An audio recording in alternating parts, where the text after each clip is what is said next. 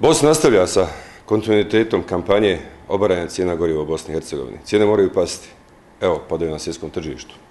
Prije mjesec dana kada smo reagovali sa preskonferencijom, kada su bile cijene 2.35, 2.40 goriva na pumpama u federaciji posebno, barili bi 80 na svjetskom tržištu, 80 dolara. Sada je 55 dolara. Naše cijene su tada bile formirane na cijeni barela od 150 dolara. Dakle, cijene moraju ići niže. Evo, možemo reći da je pohvalno da u RS-u cijene su već ispod 1,80.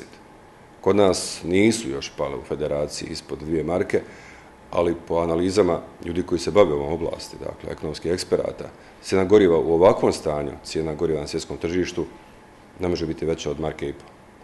Ovo nije trenutno stanje, dakle, ne mogu se vaditi naftni distributeri da je to sad stanje tako da evo, oni imaju zalihe nabavljene prije. Ovo traje više mjeseci, već duži dakle, period na svjetskom tržištu, je niša, niža cijena i moramo natjerati sve one koji ostvaruju ekstra profit da rade u skladu sa interesima države, građana. Ne mogu oni gledati svoj lični interes. Ako treba napraviti proteste i protiv naftnih distributera, to rade i u Americi. Tamo oni praktično ignorišu one koji imaju visoku cijenu i ti ljudi propadaju. Ne mogu više egzistirati na tom tržištu.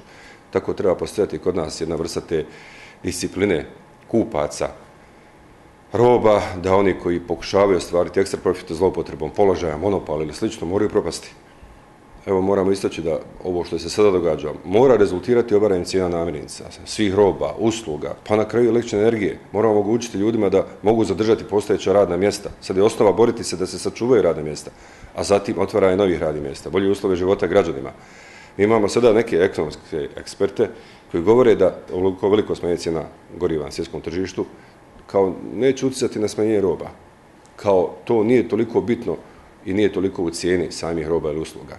A sjećamo se kada se povećavaju cijene goriva, odmah to je toliko bitno da se cijene radikalno, drastično povećavaju, pogotovo osnovnih životnih namirnica. Dakle, postoji sada jedna okolnost u Bosni i Hercegovini gdje neki ekonomski eksperti u cilju zašte ekstra profita naftnih distributera, gaze svoj ugled i praktično obmanjuju javnost kako bi pokušali zadržati ovoliko veliku cijenu goriva. Evo i ovo je prilika da ukažemo koliko su loše vladeće strukture djelovali u proteklom periodu kada su, evo prije već 8-9 godina, prodali energopetrol.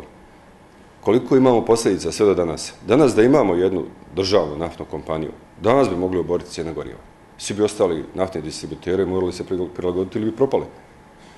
Ali mi to sada nismo mogućnosti, zato što se tada pustilo da vladajuće strukture, pojedinci, oni ostvaruju nezakoniti ekstra profit da prodaju interese države za raznorazne druge interese, pa na, za njih vrlo dobre i milijonske interese, neki čak su i, eto, i koji su tada vladali, preselili da, ali ostavili su teret posljedica građanima, pogotovo Federacije Bosne i Hercegovine.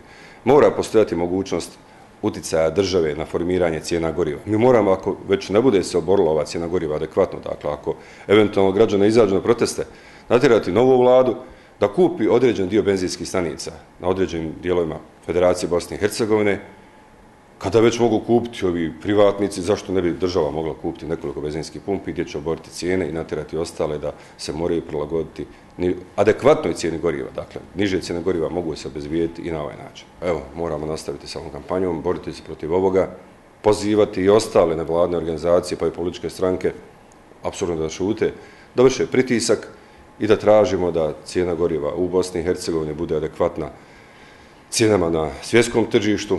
Marka i po je maksimum koji može biti u ovakvim okolnostima, pogotovo ako znamo da se najavljuje i obaranje ove cijene od 55 dolara po barelu na nižu cijenu. Evo, konačno je došlo do te stabilizacije na svjetskom tržištu. Konačno su one koji su otvarivali ekstra profite, dobro živjeli na račun ostalih građana cijele planete, evo, pali i sada nadam se da će i Ujedinjene nacije i svi koji imaju nadležnost da djeluju sačuvati građane na način cijele planete, na način da ne dozvole ostvarivanje bilo kakvih ekstra profita, bilo kakvim pojedincima ili državama, sasvim je nebitno, niko nema pravo ugrožavati sigurnost građana na način da im ugrožava egzistenciju visokim cijenama goriva.